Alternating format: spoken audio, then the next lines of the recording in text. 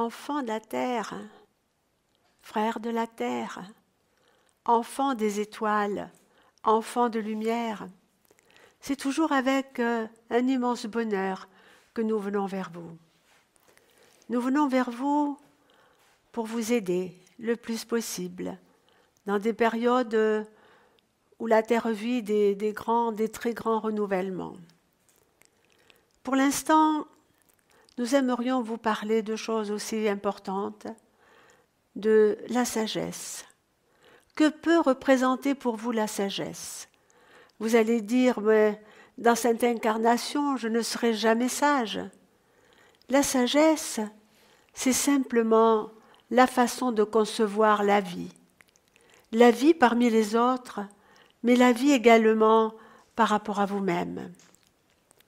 Pour acquérir cette sagesse, nul n'est besoin de faire des choses extraordinaires. Seulement, encore une fois, vous regardez vivre et surtout faire en sorte que l'amour grandisse en vous.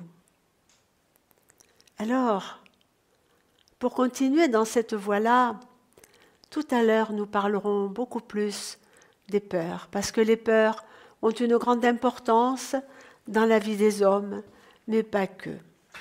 Simplement pour vous dire ceci, la peur fait partie de l'humain. La peur est l'animalité dans l'homme.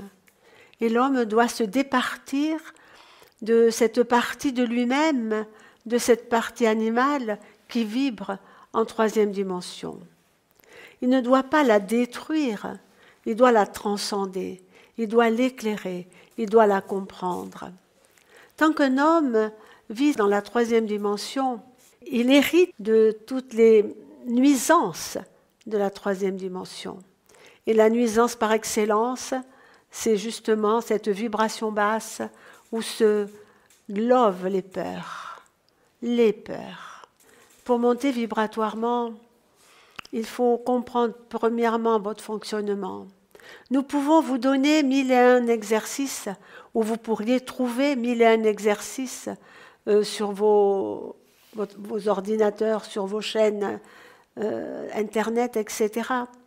Mais ce ne sont pas les mille et un exercices qui vous feront vous stabiliser dans des vibrations supérieures. Ce qui peut vous stabiliser dans des vibrations supérieures, c'est d'avoir tout d'abord une grande estime pour vous, sans ego. L'estime pour vous, c'est la reconnaissance de ce que vous êtes. C'est la reconnaissance de cette partie divine qui vous inonde, parce que la partie divine vous inonde en permanence de son amour et de sa lumière. Il ne faut pas croire que la partie divine n'est pas active en vous, mais souvent vous l'ignorez ou vous ne la ressentez pas tout simplement.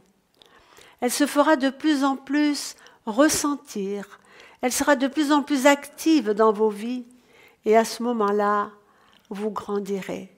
Parce que la partie divine, automatiquement, elle éclaire tellement les coins d'ombre qui se trouvent au plus profond de vous-même, vu que vous êtes dans ce monde de duel, vu que vous êtes dans la densité. Elle éclairera de plus en plus ces coins d'ombre. Elle vous en libérera. Vous vous en libérerez. Il faut que vous preniez réellement conscience que vous êtes multiples que vous êtes humain, que vous êtes énergie, que vous êtes non humain. Non humain par rapport à cette partie merveilleuse de vous-même qui s'appelle votre partie divine, ou la connexion avec Dieu, Père-Mère, ou la connexion avec l'amour universel. Et de plus en plus, vous découvrirez ce que vous êtes et qui vous êtes. Ils me disent, nous essaierons de vous y aider. Cela fait tant d'années terrestres que nous essayons de vous amener vers ce merveilleux chemin de sagesse et d'amour. Mais là, vous avez fait tous un grand pas, un grand pas dans la compréhension, un grand pas dans l'acceptation. Parce que pour un être humain, accepter qu'il est déjà matière, certes, ça il l'accepte, énergie, il peut l'accepter, mais, mais accepter qu'il est aussi une partie divine, une partie de Dieu Père Mère. Cela est plus difficile pour les êtres humains à accepter. Parce que vos philosophies, vos religions, vos formatages ne vous ont pas appris à vous aimer. Certains disaient, c'est de l'orgueil, vous ne devez pas vous aimer. Et c'est tout à fait le contraire. Je vois maintenant un être que je connais, un être magnifique. J'espérais qu'il viendrait. J'en ressentais peut-être le besoin, je ne sais pas. Ou alors il me prévenait à l'avance, je ne sais pas. L'être qui est devant moi, c'est un être magnifique, le maître de sagesse. Il me dit, ça fait un petit moment que je ne suis pas venu vers vous. Alors, je vais ouvrir le grand livre de la vie. Mais ce que j'aimerais vous dire, ce grand livre appartient à l'humanité. Et c'est l'humanité qui, chaque jour, ou pas forcément chaque jour, mais dans le comportement global de l'humanité, remplit ces pages de ce grand livre de vie, de ce grand livre qui correspond à la vie des hommes. Il me montre maintenant ce livre. Aujourd'hui, je le vois doré. Je le vois comme s'il y avait une luminescence qui émane de ce livre. Le maître de sagesse est là. Il nous regarde avec un immense amour et plus même un sentiment que je ne saurais décrire. Le sentiment ou tout du moins la vibration de ceux qui savent, de ceux qui ont tout compris, de ceux qui se donnent pour l'autre, de ceux qui s'investissent dans l'amour pour aider leurs frères. Il me dit maintenant, je vais te montrer quelques pages. Souviens-toi, la dernière fois que nous nous sommes vus, il y avait beaucoup de pages qui n'étaient pas encore écrites dans le livre. Maintenant, nous allons continuer à écrire certaines pages, mais le livre correspond à l'éternité, parce que chaque planète, chaque période de vie des êtres humains sur la planète, pour vous sur la planète Terre, inscrit en permanence le livre de la vie. Mais ce qu'il faut que vous compreniez, c'est que chacun de vous avait aussi votre propre livre, votre propre livre de, de la vie, de votre vie. Et sans vous en rendre compte, chaque jour, vous inscrivez parfois des choses magnifiques sur ce livre de vie, parfois des choses un peu plus difficiles, mais c'est ça l'évolution. Il me montre la première page elle est blanche, mais les lettres commencent à s'inscrire. En haut de la page, il y a écrit Révolution. Mais, me dit-il, la révolution n'est pas ce que vous l'entendez dans ce mot révolution. La révolution n'est pas la révolution dans le sang. La vraie révolution, c'est la révolution des consciences. En dessous révolution, je vois, il me montre des images, je vois des hommes partout, partout dans le monde, mais essentiellement pour l'instant dans ces pays que vous appelez les pays européens. Il me montre des scènes difficiles, mais derrière les scènes difficiles, il y a toujours le mot renaissance. Il tourne la page. Maintenant, en haut justement de cette page, je vois le mot renaissance. Pour arriver à cette renaissance, il faut clore des chapitres.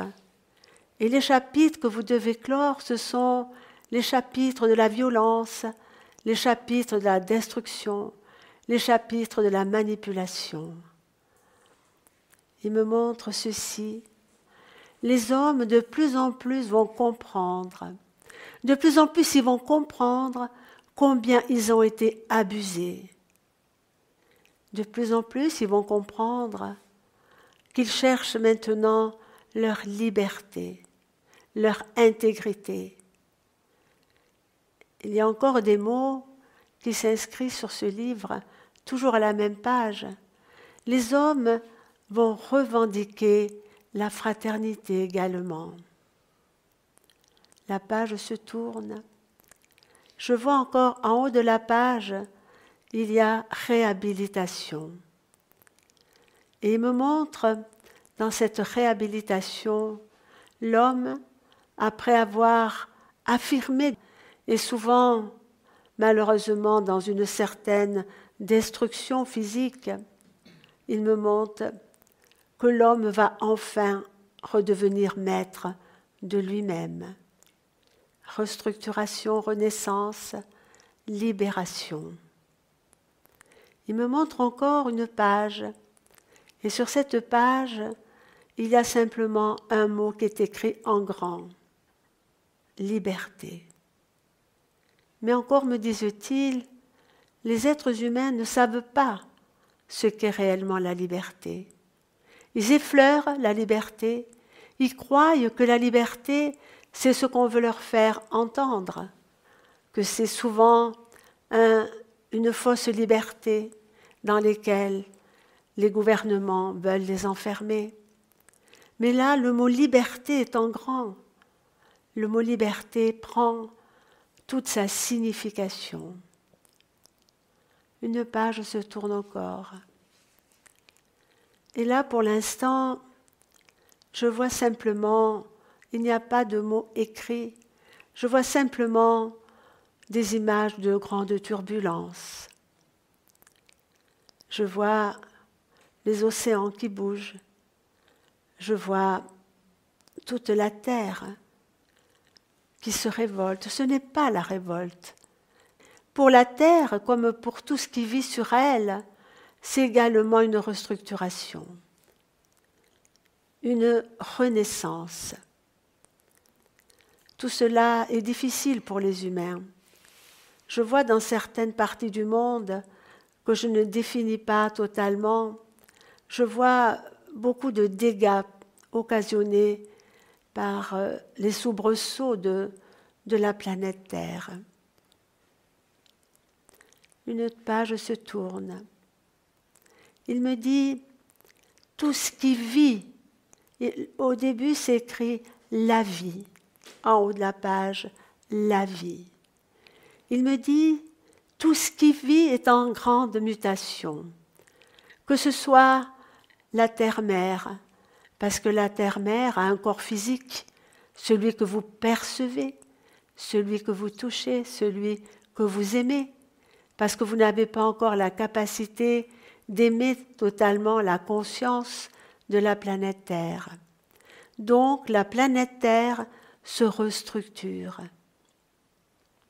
Comme vous tous, en ce moment, vous vous restructurez.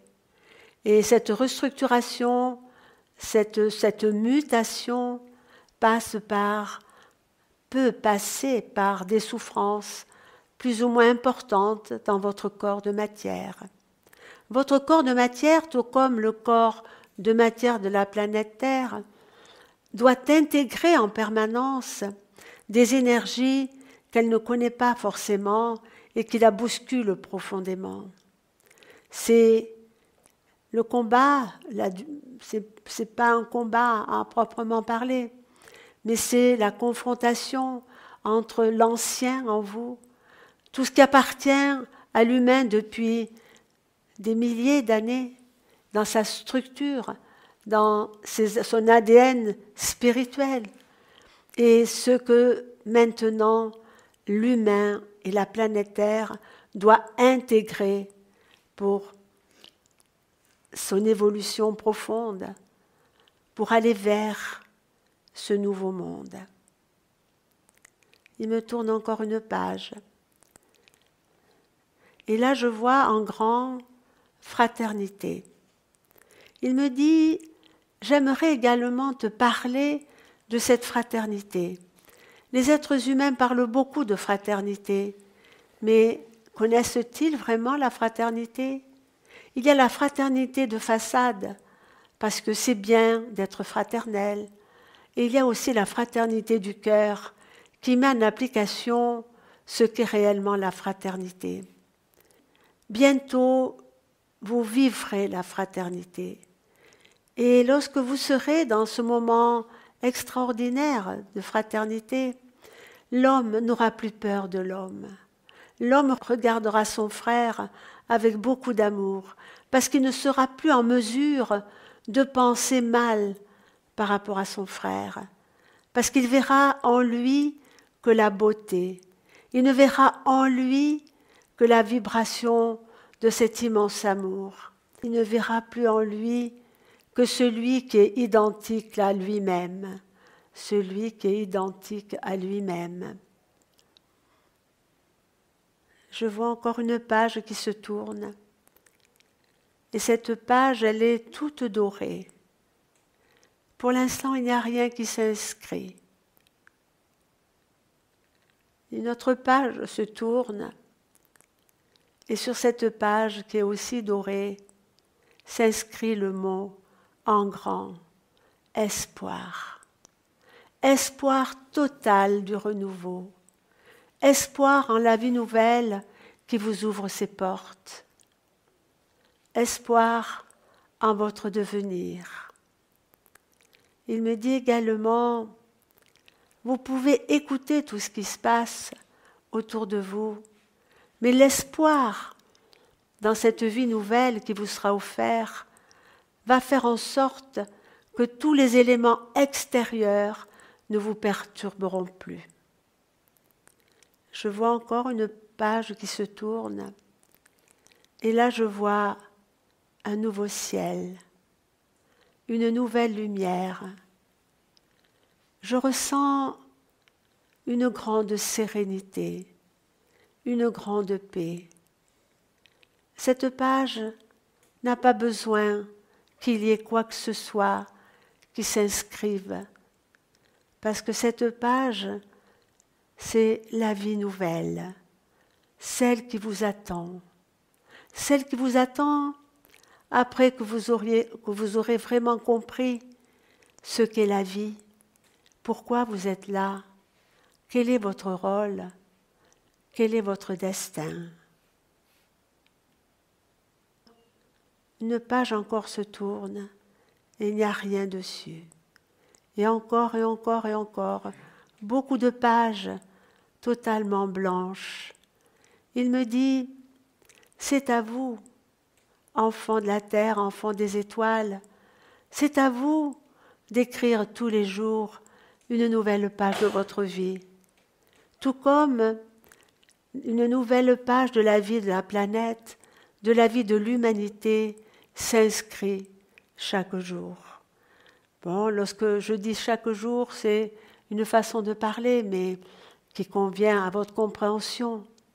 Alors, prenez conscience que vous avez un magnifique livre, le livre de votre vie, et que maintenant vous souhaitez remplir ces pages avec des très belles choses, avec tout ce qui peut être lumière, tout ce qui peut être amour, tout ce qui peut être confiance et foi, tout ce qui est beauté, tout ce qui est fraternité.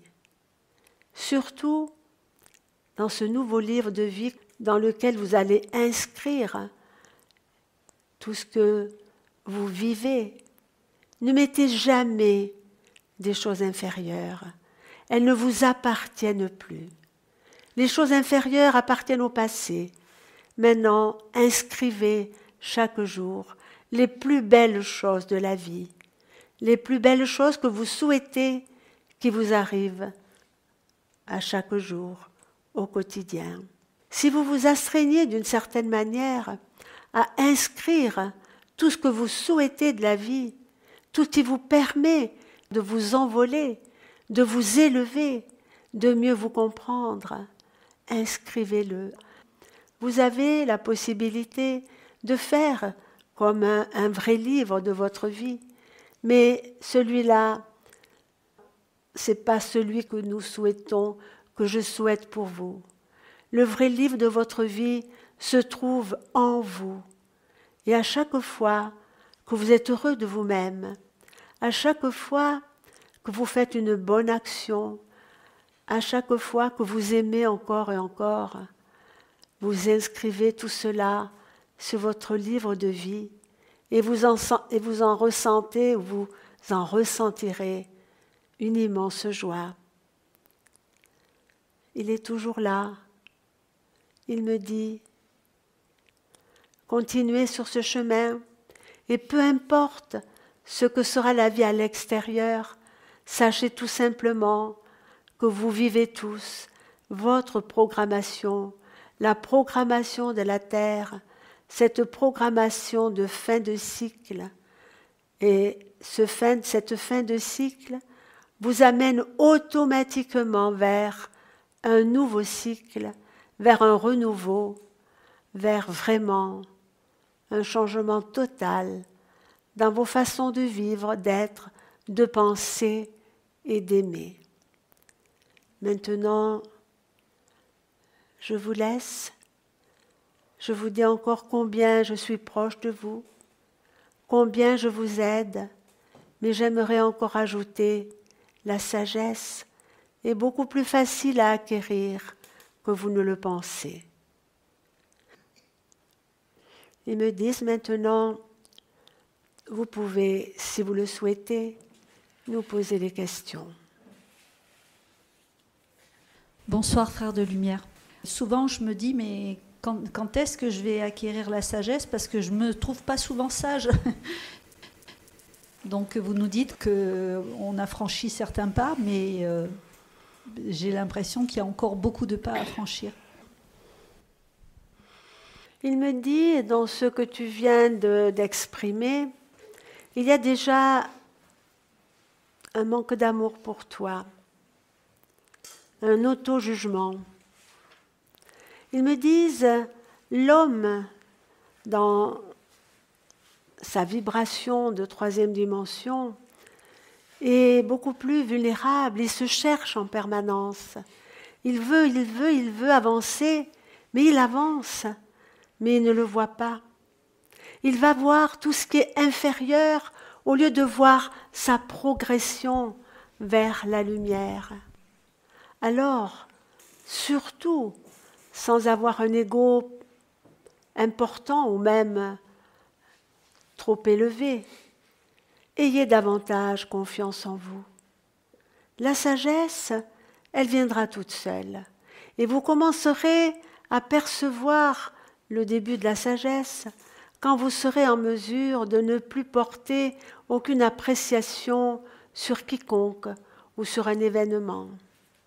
Bien sûr, vous êtes humain et vous agissez aussi en tant que tel, tant que vous n'avez pas encore franchi le pas de la non-humanité.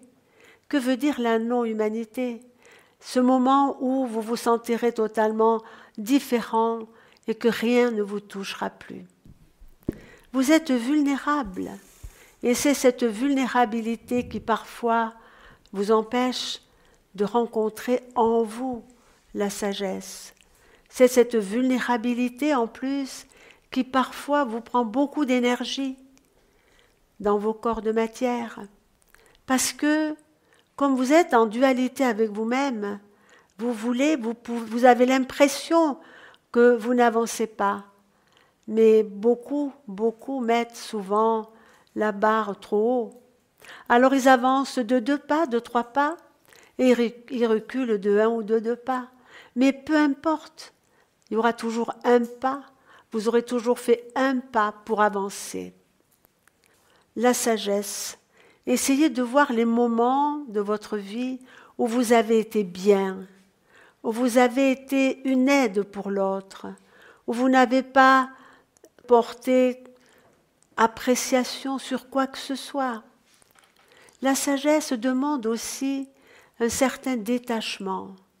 Si vous êtes totalement dans la vie et dans, hein, dans l'influence ou influencé par tout ce qui vous entoure, vous pouvez être en révolte, vous pouvez être même en colère. Nous disons ceci également pour notre canal qui parfois souffre de cette société qui marche totalement à l'envers, inversée. Mais elle n'y peut rien, comme vous tous, vous n'y pouvez rien. La seule chose que vous pouvez, c'est agir sur vous-même. Mais si vous le faites, c'est déjà énorme. N'oubliez pas qu'un être, à partir du moment où il rayonne sa réalité, où il rayonne ce qu'il est en tant que partie divine, il peut accomplir des miracles sans rien faire sur beaucoup d'êtres qui croiseront son chemin.